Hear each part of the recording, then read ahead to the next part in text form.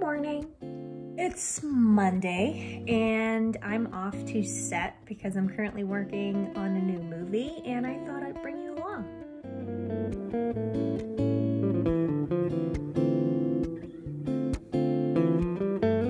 Today we are on set of my new movie and of course the first thing I do when I get on set is go to hair and makeup. To get this look. But before we get this look going, obviously, uh, the first thing we do is apply some e-cleanser just to get the skin really nice and clean.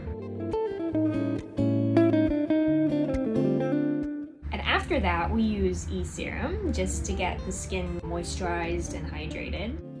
This is my amazing makeup artist applying my makeup for the day. Usually this takes about 40 to 45 minutes. Um, and yes, I am having a crazy hair day and we're always having lots of fun in the morning.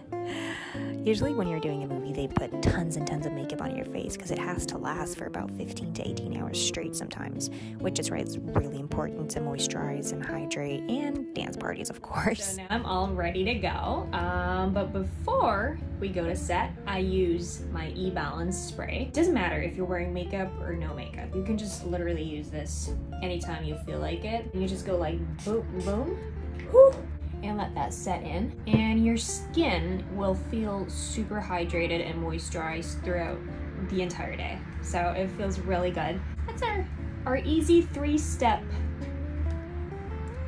skincare right there. And I'm gonna go to set now. See you later.